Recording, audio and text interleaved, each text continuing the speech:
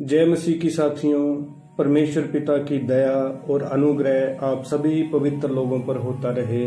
आमीन। हमारा आज का विषय है, बाइबल में कितने स्वर्ग हैं?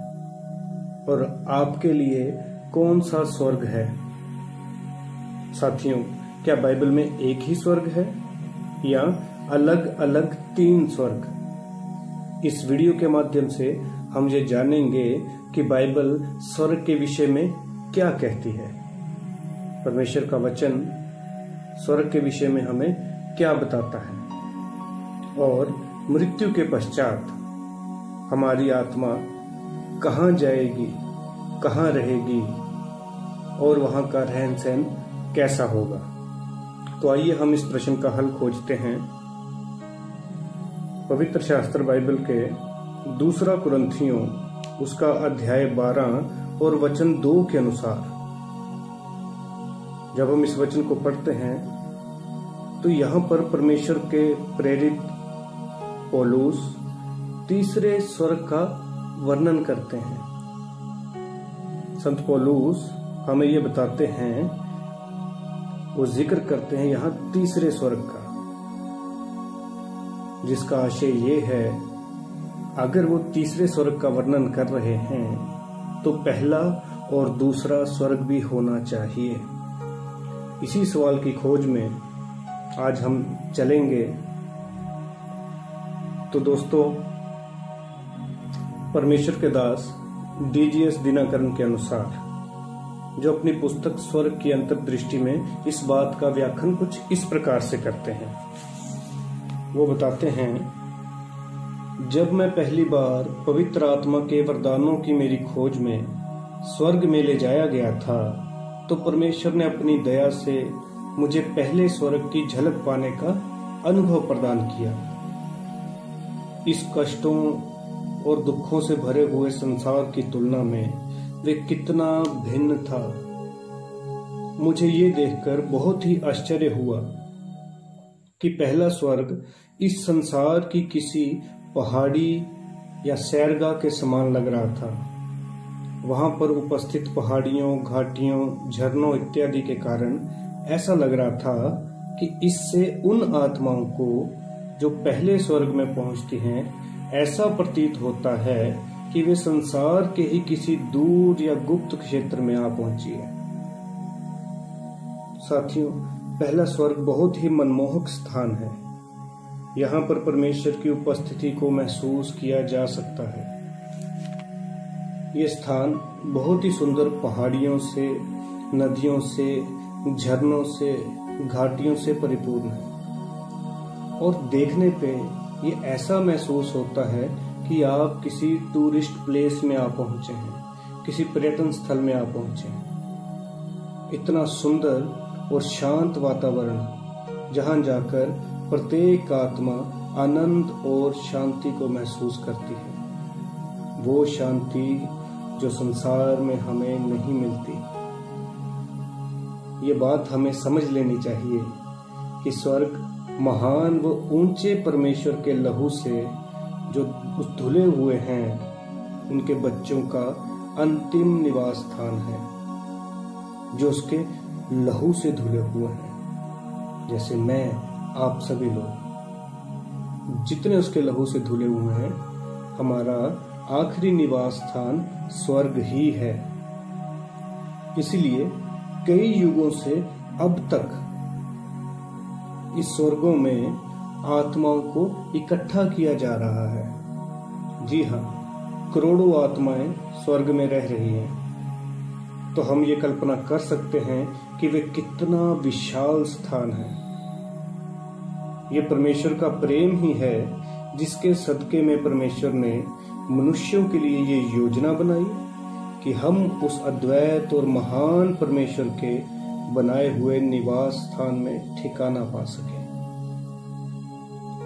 परमेश्वर का प्रेमी स्वभाव ही उसे विवश करता है कि परमेश्वर मनुष्यों के लिए स्वर्ग का मार्ग खोले, भजन संहिता अध्याय आठ, उसका तीन और चार वचन के अनुसार, यहाँ लिखा है, जब मैं आकाश को, जो तेरे हाथों का कार्य है, और चंद्रमा और तारागणों को, जो तूने नियुक्त किए हैं, देखता हूँ तो फिर मनुष्य क्या है कि तू उसका स्मरण रखे, और आदमी क्या है कि तू उसकी सुधि ले? जी हाँ दोस्तों परमेश्वर की महिमा के सामने मनुष्य कुछ भी नहीं है। वो अलौकिक, अद्भुत, विशाल परमेश्वर मनुष्यों की फ़िक्र करता है। उनसे प्रेम करता है। इसीलिए उसे भाया कि उसके हाथ से रचे गए मनुष्य भी उसके साथ उसके अनंत विश्राम में प्रवेश करें। परमेश्वर का धन्यवाद। इस सुंदर योजना के लिए परमेश्वर की स्तुति युगानुयुग होती रहे। आमीन। जी हाँ इन वचनों के अनुसार ये प्रभु का उमड़ता हुआ प्रेम ही है, जो उसकी उपस्थिति में बहकर स्वर्ग में पाई जाने वाली आत्माओं को सारे समय उसके साथ बाँध कर रखता है। और वे उसकी उपस्थिति में उसके अतुल्य प्रेम में सभी आत्माएँ मगन रहती हैं। इसके साथ ये सभी लोग परमेश्वर की प्रशंसा करते रहते हैं, जो कि उनके हृदय में उमड़ती हुई कृतज्ञता से प्रेरित होते हैं और क्रूस पर दर्शाए गए उसके अतुल्य प्रेम का स्मरण दिलाते हैं। जितने भी लोग इस पहले स्वर्ग में होते हैं, वो परमेश्वर का, जो क्रूस पे परमेश्वर ने हमें प्रेम दिखाया, जो बलिदान हमें दिया परमेश्वर ने हमारे लिए, उसके उस, उसी अतुल्य प्रेम को स्मरण करते रहते हैं, परमेश्वर की प्रशंसा करते रहते हैं। लिखा है, प्रकाशित वाक्य, उसके अध्याय पाँच और नौ वचन में, तूने वध होकर अपने लहू से हर एक कुल और भाषा और लोग और जाति में से परमेश्वर के लिए लोगों को मोल लिया है। हालेलुया। परमेश्वर ने हमें मोल लिया है अपना लहू का दाम देकर, अपने आप को हमारे लिए निछावर कर कर ये परमेश्वर का प्रेम ही है। वरन मनुष्य क्या है कि परमेश्वर उसकी सुधि रखता है, उससे प्यार करता है? परमेश्वर की इस महान योजना और प्रेम के लिए हम परमेश्वर का धन्यवाद करें। आइए अब हम देखते हैं कि पहले स्वर्ग में जो जो लोग, जो आत्माएँ रहती हैं, वो किस प्रकार किस प्रकार वहाँ उनका समय व्यतीत होता है। तो पहले स्वर्ग के निवासियों का वर्णन। दोस्तों, हम यहाँ देखेंगे कि पहले स्वर्ग में किस प्रकार के लोग ठिकाना पाएँगे या पहले स्वर्ग में कैसे लोग जाएँगे। लुका अध्याय तेईस, उसके बयालीस और तियालीस वचन में हम पढ़ते हैं कि हमारे प्रभु के साथ क्रूस पर चढ़ाए गए डाकुओं में से एक ने यह एहसास किया कि वे परमेश्वर के पुत्र की उपस्थिति में था। वे अपने हृदय में कायल हुआ और अपने संगी डाकू से बोला, हम अपने पापों का ठीक फल पा रहे हैं, पर इसने कोई अनुचित काम नहीं किया। फिर उसने प्रभु को दुहाई देकर कहा कि, हे प्रभु यीशु, जब तू अपने राज्य में आए तो मेरी सुधि लेना।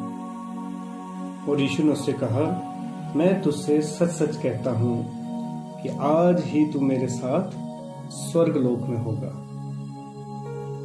अब हम इस दृश्य को गहराई से देखें।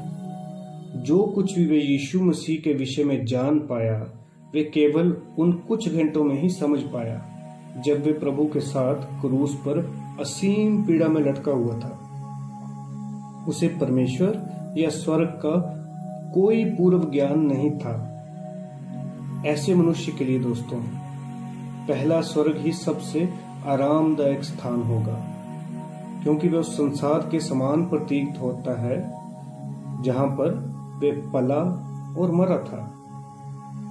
उसी समय उसे मसीह की उपस्थिति में बहुत अच्छा लगेगा, क्योंकि वे मसीह के साथ क्रूस पर लटका हुआ था। जी हाँ परमेश्वर आत्माओं को स्वर्गीय स्थानों में पूर्णतया उसी आत्मिक परिपक्वता के अनुसार रखता है, उसी आत्मिक मिचोटी के साथ रखता है, जिसमें वे आत्मा संसार में पहुँच पाई है। ऐसे लोग उस सर्वशक्तिमान परमेश्वर की महिमा एवं चमक की भरपूरी का कभी भी सामना नहीं कर पाएँगे। वैसे हम इस तथ्य को सरलता से समझ सकते हैं कि पहला स्वर्ग संत पौलूस जैसे व्यक्ति के लिए उचित नहीं होगा, जिसने मसीह में अपनी आत्मिक पहुँच के संबंध में निम्नलिखित बातें कही। जैसे गलातियों की किताब उसका दो और बीस वचन के अनुसार, अब मैं मसीह में, अब मैं जीवित ना रहा, परंतु मसीह मुझमें जीवित है। गलातियों छह सत्रह के अनुसार मैं यीशु के दागों को अपनी देह में लिए फिरता हूँ। परमेश्वर ने ऐसी परिपक्व आत्माओं के लिए ही स्वर्ग में अगले दो स्तर तैयार किए हैं। पहला स्वर्ग हम जान चुके हैं, अब हम बात करेंगे दूसरे स्वर्ग की।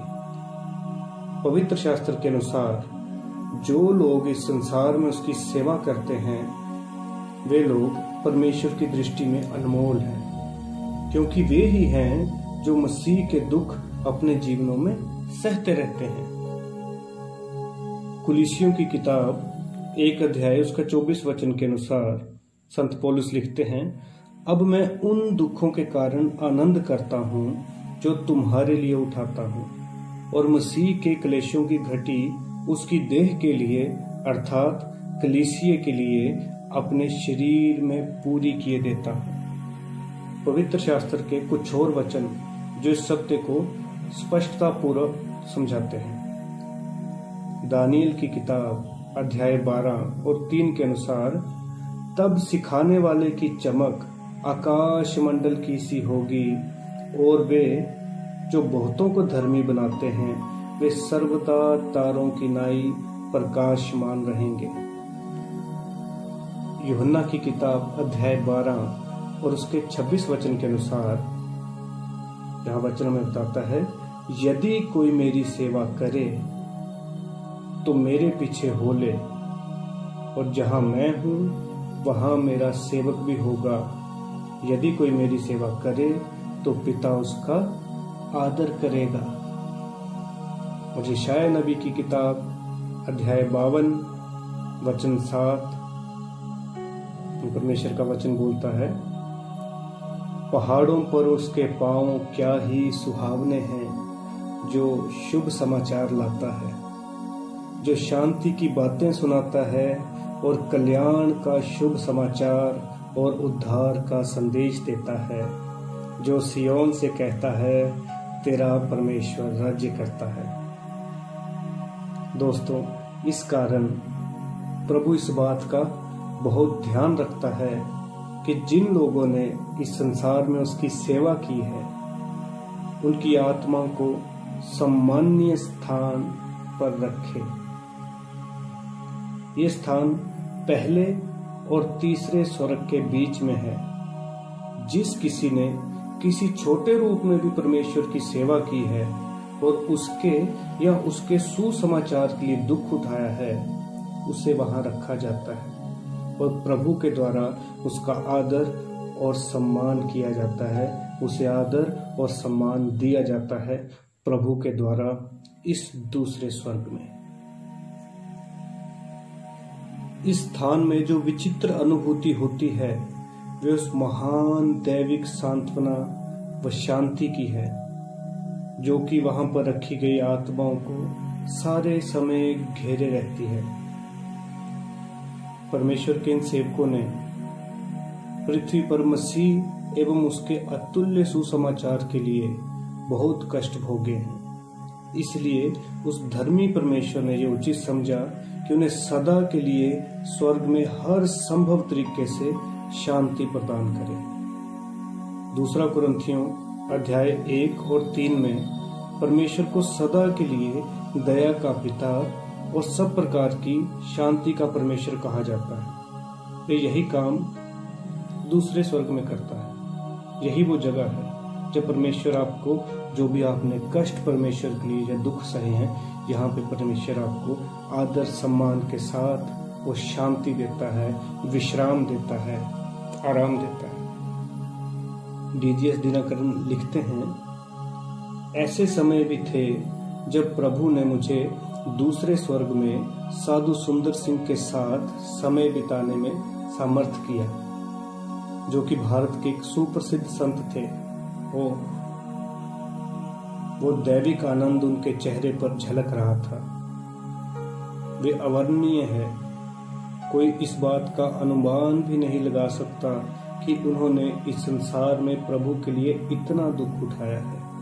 हर समय उनके चेहरे पर सहज रूप से मुस्कान एवं आनंद दिखाई देता रहता है। ऐसा कहा जाता है, एक बार उन्होंने सार्वजनिक रूप से कहा, यदि स्वर्ग में मसीह के लिए दुख उठाने का कोई अवसर नहीं है तो मैं अपने प्रभु से निवेदन करूँगा कि वे मुझे नरक में भेज दें, ताकि मुझे वहाँ पर, ताकि मुझे वहाँ पर उसके लिए दुख उठाने का आनंद प्राप्त होता रहे। परमेश्वर इन संतों के अंदर, प्रभु और उसके सुसमाचार के प्रति कितना श्रेष्ठ मन एवं ज्वलंत प्रेम पाया जाता था, जिसके कारण वे सदैव उसके लिए एवं उसकी एवं उसकी सेवकाई के लिए दुख उठाने में आनंद प्राप्त करते थे। याकूब अध्याय एक, उसके दो वचन और प्रेरितों के काम अध्याय पाँच और इकतालीस वचन के अनुसार। बाइबल हमें कहती है, भजन संहिता 135 और उसके 14 वचन के अनुसार, परमेश्वर अपने दासों के दुर्दशा देखकर तरस खाएगा और वे ऐसा दूसरे स्वर्ग में करता है। इस प्रकार हर समय दूसरे स्वर्ग में मसीह का तरस बहता रहता है। और हर एक परमेश्वर के सेवक को सदा के लिए दुखों से मुक्त रखता है। स्वर्ग के इस भाग में रहने वाले अनगिनत परमेश्वर के जन इस संसार में उसके लिए धीरज से दुख व कष्ट उठाने के लिए सदैव परमेश्वर स्वयं के द्वारा शांति पाने वाले वास्तव में धन्य लोग हैं। जितनों ने उनके लिए दुख उठाया, कष्ट सहे और सच में परमेश्वर की दृष्टि में धन्य लोग हैं। और परमेश्वर उन्हें दूसरे स्वर्ग में रखता है, जहाँ पर मसीह का तरस बहता रहता है, जहाँ पे वो विश्राम पाते हैं, शांति और आनंद पाते हैं। दूसरे स्वर्ग में इस प्रकार के लोग पहुँचाए जाते हैं। अब दोस्तों, हम बात करेंगे तीसरे स्वर्ग में तीसरे स्वर्ग में कौन कौन जाता है? या कैसे आत्माएँ कैसे लोग वहाँ जाएँगे? तो साथियों,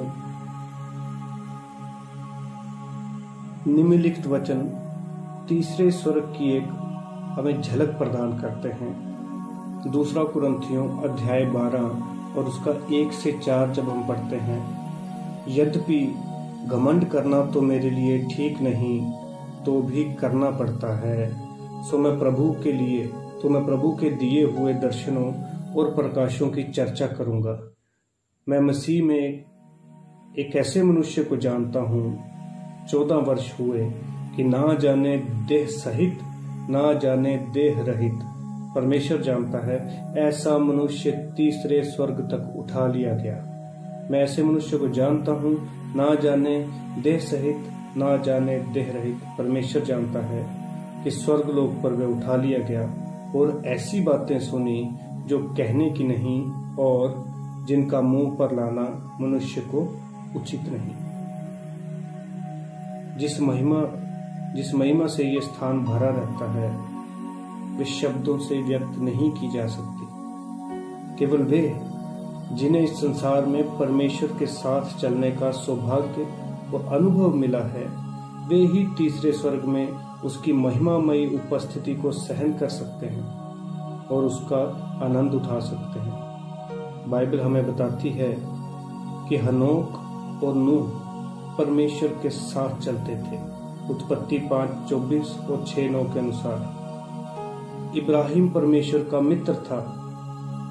दूसरा इतिहास बीस और सात के अनुसार यशाया फोर्टी वन और उसका आठ और याकूब दो तेईस के अनुसार और इस कारण वे उनके साथ साथ चलता था।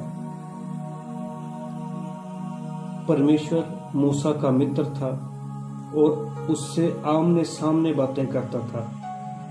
निर्गमन अध्याय 33 और 11 वचन के अनुसार जब अगर हम देखें, या गिनती अध्याय 12 और आठ के अनुसार, प्रेरित पोलूस ने कहा कि इस संसार में वे हर प्रकार से प्रभु के साथ चलने का यत्न करता था।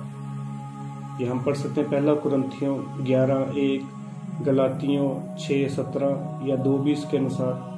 वे परमेश्वर के इतने निकट था कि परमेश्वर की इच्छा अनुसार स्वर्ग में आ जा सकता था। दूसरा कुरंथियों बारह, उसका एक चार के अनुसार।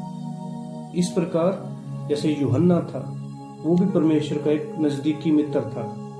युहन्ना तेरह तेईस, तेरह अध्याय तेईस वचन, या उन्नीस अध्याय छब्बीस वचन, बीस अध्याय दो वचन, इक्कीस अध्याय सात वचन।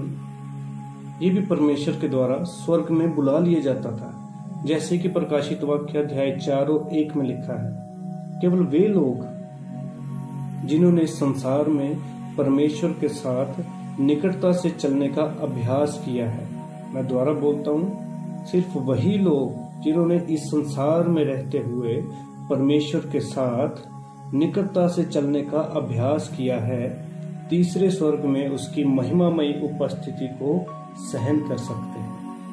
परमेश्वर महिमा से परिपूर्ण है।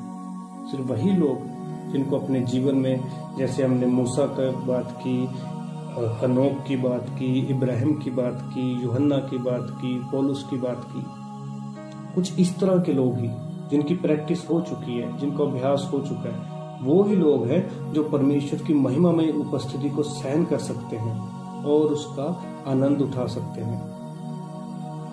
प्रभु यीशु ने भी अपने पिता से विशिष्ट रीति से ये मांग की थी कि उसके साथ रहने का सौभाग्य उन लोगों को दिया जाए जो कि उसके साथ चलते हैं। जैसा कि आप योहन्ना अध्याय सत्रह, उसके चौबीस वचन पढ़ते हैं, जहाँ यीशु से बोलते हैं कि, हे पिता मैं चाहता हूँ कि जिन्हें तूने मुझे दिया, जहाँ मैं हूँ, वहाँ वे भी मेरे साथ हों, कि वे मेरी उस महिमा को देखें, जो तूने मुझे दी है, क्योंकि तूने जगत की उत्पत्ति से पहले मुझसे प्रेम रखा। सो इस कारण केवल वो लोग, जिनके अंदर हर समय परमेश्वर के साथ रहने की इच्छा होती है, और जिन्होंने संसार में इस संसार में ही मसीह की उपस्थिति में रहने का अभ्यास कर लिया है।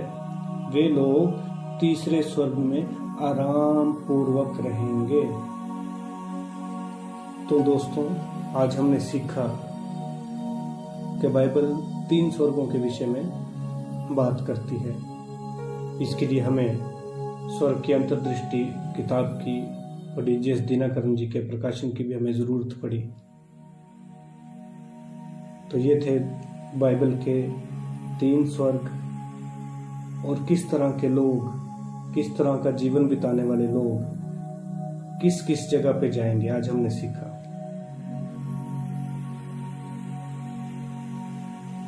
और इन स्वर्गों में, जैसे कि हम बता चुके हैं, किस प्रकार के लोग जाएँगे, आज हमने ये अपने इस वीडियो के माध्यम से देखा। हम विश्वास करते हैं कि ये वीडियो आपको स्वर्ग के विषय में ज्ञान देने के लिए सक्षम है।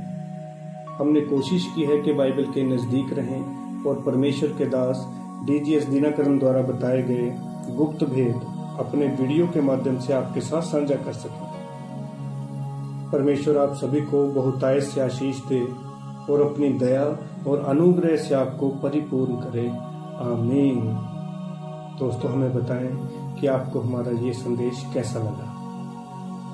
और अधिक वीडियो देखने के लिए हमारे चैनल को सब्सक्राइब करें, वीडियो को लाइक करें और शेयर करें और कमेंट करें। धन्यवाद।